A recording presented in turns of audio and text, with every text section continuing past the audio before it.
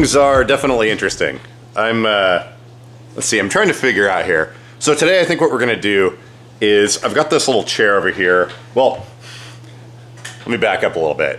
So I'm going to be moving. I don't know exactly when or where. There's a lot of details I'm still working out, but long story short, I'm getting rid of stuff. I had a dumpster out here last week, filled that thing up. Probably gonna get another one here sometime in the next short little while.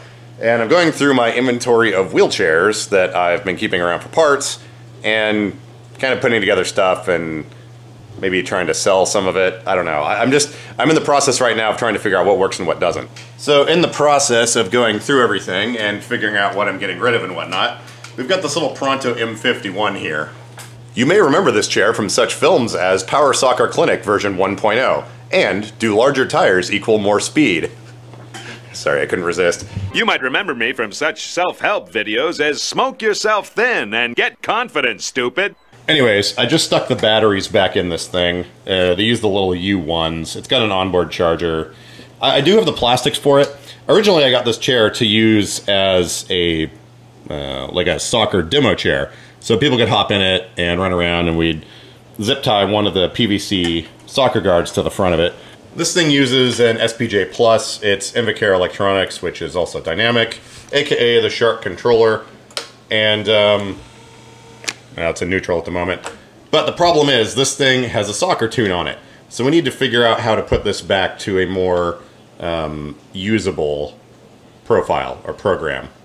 And when I got that chair like four years ago, I had to go to a mobility shop and borrow a programmer but it took a very specific one. I had to go through their entire pile of programmers to find one that worked, and then it had to be hooked up to a computer. I don't remember the software, I don't remember what the programmer was. All I know is the one that was supposed to work with that chair did not work. Then I had a thought. I built this thing a while back. So this is kind of a logic converter or data converter. Basically, it's got a 9-pin serial um, connector on the back. As you can see, there's only three wires connected to it. And on the other end, we just have a normal 3-pin XLR jack. Now this was originally intended to program the bounder, and it worked really good for that. This is what I use if I want to change programming on that. The bounder uses dynamic DX2 controls. So my thought is, since Invacare is also dynamic, maybe this thing will work. What it does is basically we've got ground, transmit, and receive pins on this. This little board, using some transistors and diodes and assorted little thingies, converts two-line data communication, so one line for receive, one line for transmit, into a single line communication. So it takes, I believe it's the center pin. Let's see here, I can look and see. Yeah, I don't remember. But it converts that data to uh, power ground and a single data pin. So it'll transmit and receive over a single pin. Words are escaping me at the moment, but anyways, let's uh, let's go grab that little chair, bring it in here, and see if this works. The nice thing with this chair is it has gearbox neutrals instead of brake disconnects. So it's very easy to push around when it's in neutral. Um, that is one handy thing. Like I said, I don't know if I'm selling this thing yet, but I need to get it back to a normal program so that well, if I am going to sell it, maybe I might use this as a backup chair because I'm probably going to move somewhere that there's not a lot of space and I need to save some of that space or said space, whatever. Anyways, right now I'm, I'm kind of scatterbrained, words are hard. Uh, let me grab the laptop that the software is on and let's see what happens when we hook it up. We've got this old Dell laptop here. This is one of those business ones from a long time ago. But the nice thing with this is it has a COM port on the back of it. Now I could potentially run a USB to COM port emulator, but when I was building this thing, I wanted to keep it as simple as possible. And sometimes those USB COM port emulators uh, present problems of their own. So for proof of concept, I wanted to build that little interface strictly with serial. And then later on, if I felt led, we could change it up. But as you can see, I, uh, I haven't even bothered putting this in a connector or putting this in a box everything's just kind of loosely soldered on here. So, so let's just kind of dangle this right here. There we go.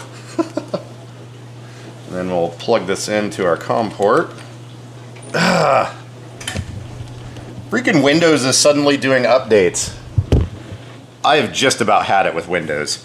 Um, I know you can like pause updates and do all this stuff, but the computer I stream with, I, I don't really have too much personal data on that. Okay, remind me in three days. But the other day when I powered it up, all of my data was gone. Everything in the, my documents, the downloads, photos, all the personal folder, folders are just missing. And I used the Windows backup feature to save it to another drive. All that was gone too. So aside from it randomly deciding that it's going to do updates and you can't do anything about it, and things just disappearing, sometimes I turn it on and the wallpaper doesn't work, and it's like this on all my Windows computers. By the way, rant warning. Um, I'm, uh, I have to keep a Windows computer around for certain things, but like, I think I'm going to switch over to Linux. I, uh, I've tried it before, and my consensus back at that point was, by the way, we're using this software called Wizard here. Let me open this up. My problem with Linux before was, well, you have to spend a lot of time trying to make it work as opposed to getting work done. But at this point, I'm so, so done with Windows. Um, okay, anyways, so this is, um, trying to be careful with these wires. This is, come on camera. Uh, Dynamic Wizard 5. So we're going to accept, oh, hang on, there's a text message I have to reply to. Okay, I accept. There we go.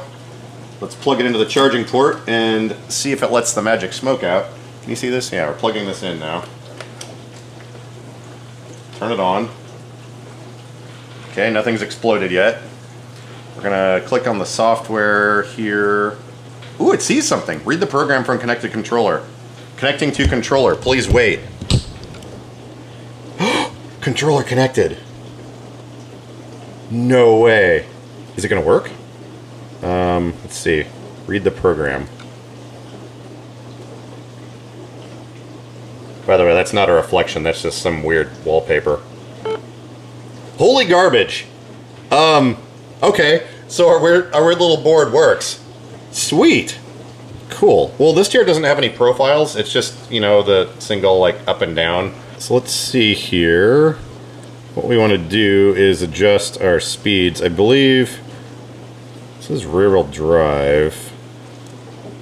I don't know if all these settings are going to be applicable or not.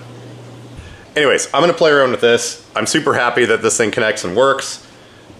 Um, I don't know what chairs all it's compatible with. I've got a few Invacare and Dynamic Controls chairs around. I guess I could plug this in and test to see. But um, yeah, so let's see. Maximum forward speed.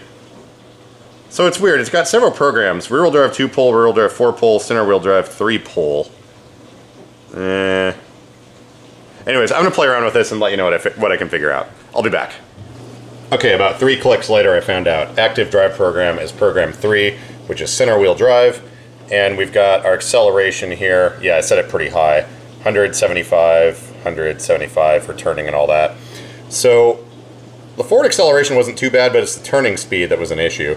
So I think what I'm going to need to do, I'm going to grab a cushion for this thing and hop into it. Because trying to program these without sitting in the chair, eh, whatever.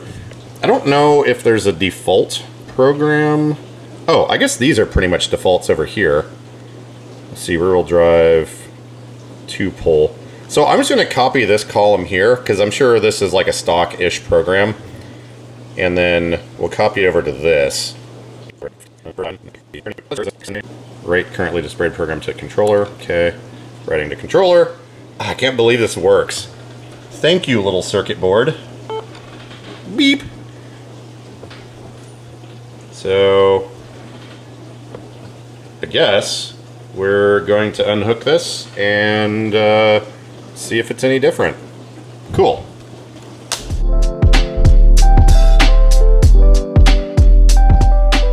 So I ended up getting rid of my old Quickie soccer chair that I had. Now that I've got access to a Strike Force, it was kind of unnecessary. Plus, it broke a motor shaft. That, I don't know, the, those old Quickie S626 chairs, wait, is it 626? Yeah, anyways. Oh yeah, there's another one over there. Um, those old chairs, I don't know what it is with the gearboxes and the motor shafts, but they just keep rounding out. And, yeah, anyways. So, as you can see, Everything on top of this rack is empty. That one's maybe eh, 65% full. All the stuff back in that corner is gone. And I'm going through the last remaining chairs that I have.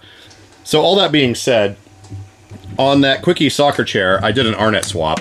And I, well, this is the controller that was on it and the joystick. But what I had to do, because it had a seating controller that wouldn't interface with Arnet, I had to make this little power adapter cable here. Well, that chair also had cooling fans on it. So I used the Arnet cables and put a couple switches in. One of these went over to the seating controller and the other one went to the fans. But check it out. See how one of these switches is set to on? That was the one for the seating controller. So four months ago when I moved in here, apparently I left the seating controller on and ran the batteries super dead. Um, they were okay.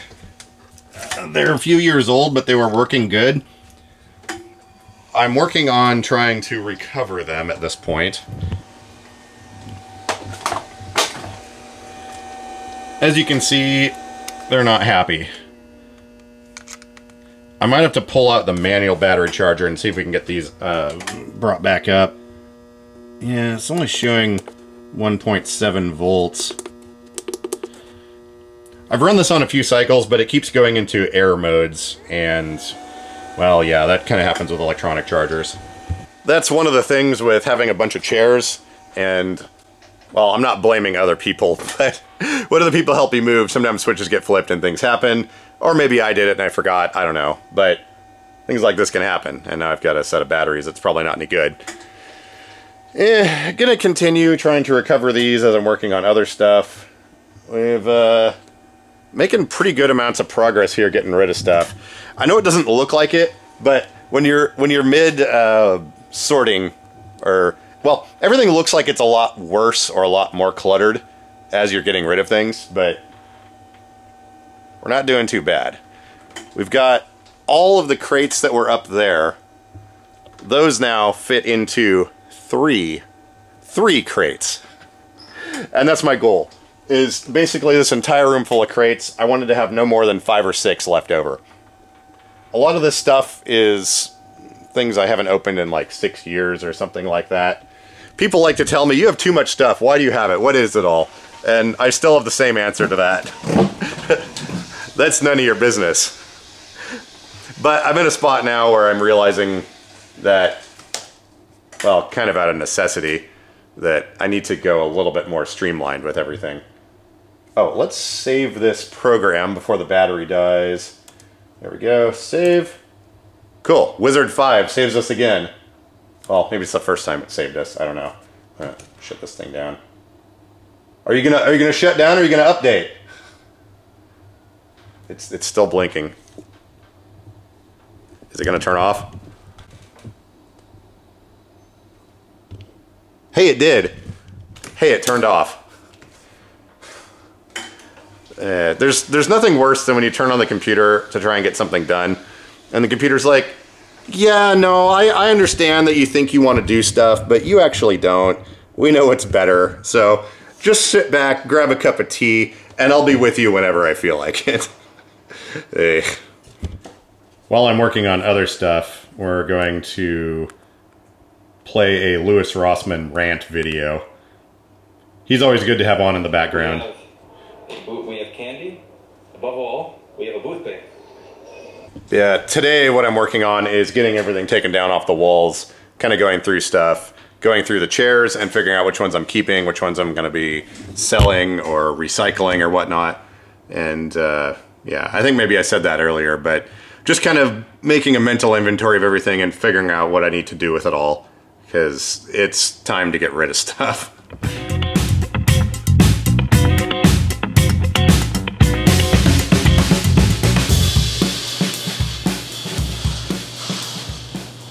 Okay, so I'm sitting in this little thing. We are back to a much more stock profile, but in my opinion, this is actually kind of a dangerous setup because the deceleration is, um, let's see here, I'm trying to hang this off the side of the counter. The deceleration is way too slow.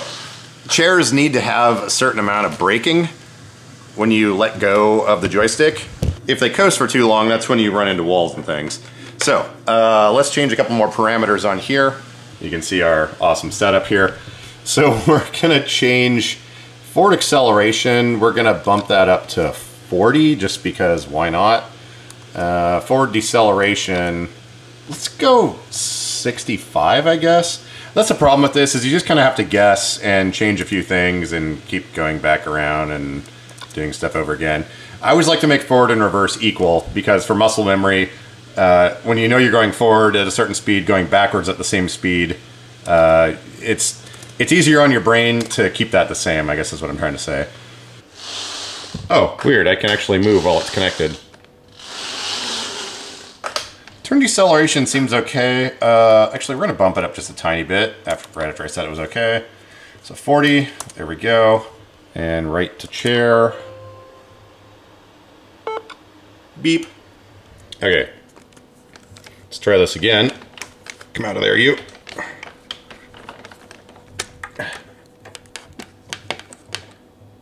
All right, let's see what we get now.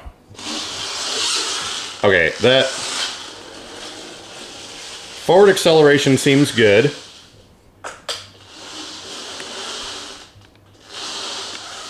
Now, if I was keeping this chair, I would keep that turning uh, turning rate about the same. I think for most people it might be a little much, so let's try turning this down and see what it does. Okay, we're on carpet. Not a good idea for testing. Okay, that might actually be okay.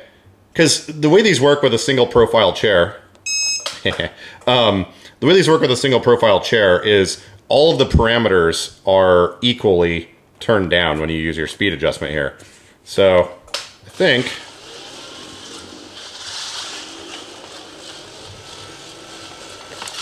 Yeah, I think that seems pretty good.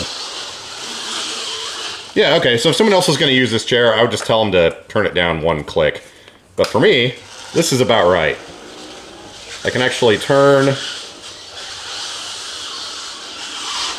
And, uh, yeah, it seems pretty good. All right, cool. Look how short I am. So I usually set the uh, forward deceleration rate so that at a moderate speed, if I let go, it just it just barely starts pushing me forward a little bit. All right, I'm happy. I thought about maybe just getting rid of this chair or like donating it or something, or maybe just taking parts off of it, because I didn't think I was gonna be able to program the controller. The place that I go to get to, well, so mo the mobility store that my friends own, they don't always have the programmers available, and well, anyways, there's been personnel changes and stuff, and some of the programmers were. Uh, long story short, I, I wasn't able to get my hands on one. So, getting rid of a chair like this, uh, just for parts, seems like a waste. So at least now, I can sell this thing if I decide I need to. The next few days here are going to be somewhat critical uh, with the living situation moving forward. I've got things pretty much squared away, I think. Uh, I'll know more by the end of this week, but again, sorry, I, I can't explain a lot of what was going on. This last weekend, however, drove out to Idaho again to help a friend move some stuff out there. They got the keys to their new place, so that's awesome. Gonna be making a few more trips out there with them uh, over the next couple of months, just helping them get things moved in. They're not actually leaving Portland for another couple of months, uh, work-related stuff. But yeah, it's always nice to get out and take a little road trip and do some things. But anyways, I'm gonna get out of this chair because my, my, my knees are almost touching my chin. And uh, yeah, we're gonna see what else is going on today. This is, uh, this is a video where I haven't uploaded in four and a half days and I need to upload something. Uh, yeah, I'll be back. All right, let's check in with our batteries out in the garage. I found the manual charger and it's been out here in theory, cramming voltage into one of these batteries. I guess we can turn on a light. That's the computerized charger. Those aren't good at pulling things back from nothing. At least we do have one volt in here, so eh. Looks like our needle's moved up a little bit. I'm gonna disconnect one of these terminals, and if that needle moves at all, it'll tell us if anything's actually happening. So here we go. Yeah, see how it dropped down a tiny bit? And when I connect it back up, it goes up a little bit. Usually with batteries like this when I'm recovering them, after a few hours of being connected with this manual charger, we'll start getting... Oh, actually we got some sparks. I was just going to say, we usually start getting sparks, and that's a good sign. Check it out. Yeah, see? Itty bitty sparks. Cool. So in my experience recovering batteries, once you get to the point within like an hour or two, and you start seeing those sparks, that means the batteries are probably going to be okay. We got to get them charged up a lot further before we know if there's any shorted cells. But because these things were functional, they've been completely dead for a few months. I think the seating controller powered off at like maybe 3 volts or something and wasn't pulling any more power. But anyways, just from the amount of times I've recovered batteries, this tells me that we should be all right. Hopefully by tomorrow we'll know for sure.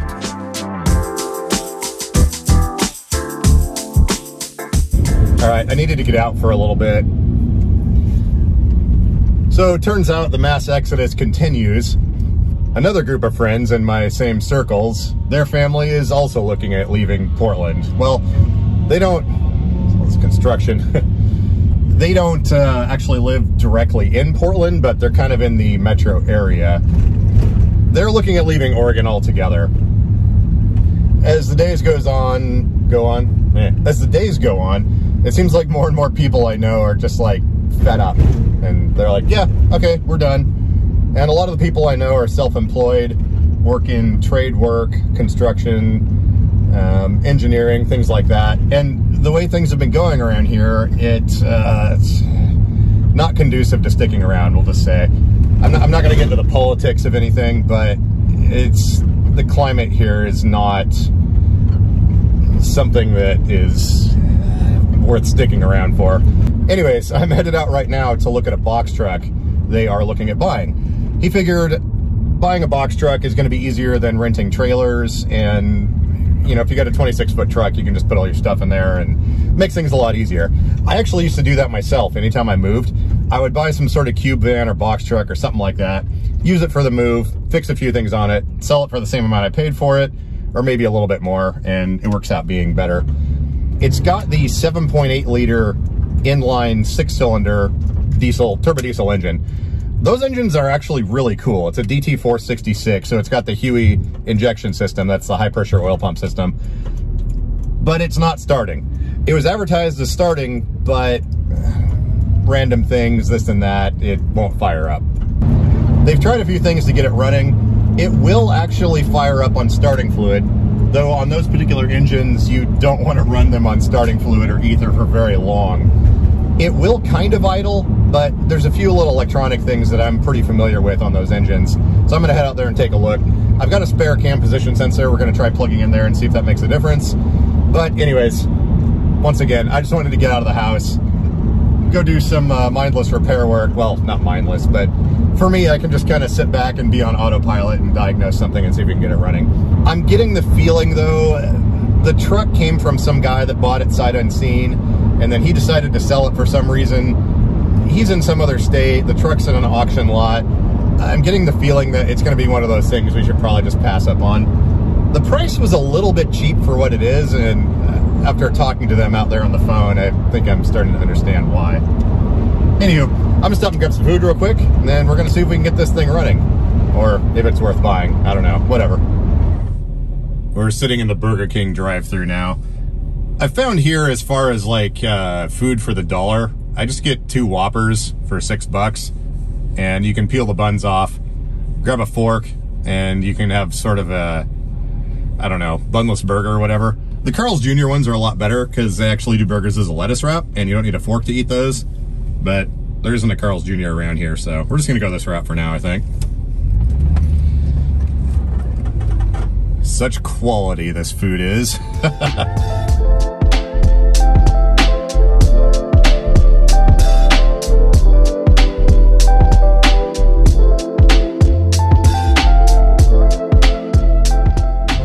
doing some looking around at that truck, it had some sort of like satellite-based fleet tracking immobilizer thing built into it. It was plugged into the OBD port. I couldn't immediately tell how the thing was wired in, and since it's in an auction lot, they don't really like you tearing into wiring. The thing cranked over fine, and I couldn't tell if we were actually getting the signal to the HEUI pump to fire up the injectors or not. It would start on ether and kind of idle, but I wasn't sure if it was residual ether that it was running on. Anyways, long story short, we decided just to pass on it. Those injection systems either work perfectly or they go seriously wrong. And when you start getting into the high pressure oil pumps on those, it becomes expensive in a hurry. A lot of times it's almost impossible to actually even take them apart without causing damage and then having to buy a bunch of parts just to get it back and find out that you need a $1,300 thing to get it going. So for the price of the truck and all the unknowns and everything, he just decided to pass on it. I forgot, this coffee cup makes weird noises. I think the two insulating layers have a leak at the top, and every time I take a drink out of it, it cools down the air and starts making sounds. Anyways, so yeah, I've gotten messages from a few of you guys asking if I'm, if I'm all right. Things are going all right. I'm just kind of making a push right now to simplify my life moving forward and eliminate unknown variables or at least get rid of a lot of things that I don't have control over. I can assure you everything is going fine and we're gonna land in a spot that, well, it'll be good, trust me. It's just a lot of work to get there and I mean, I don't know. It, it just takes a while to kind of figure out in life what you want to do or what you're doing. Not, I don't know, that sounds kind of weird. Well, let's just say after X number of years, I've decided it, it, I got to simplify everything.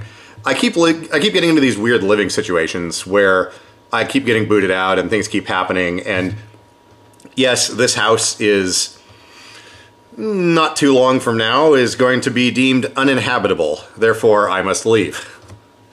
The reason I keep getting into situations like this, I think, is because I end up renting houses from random people that own them instead of management companies.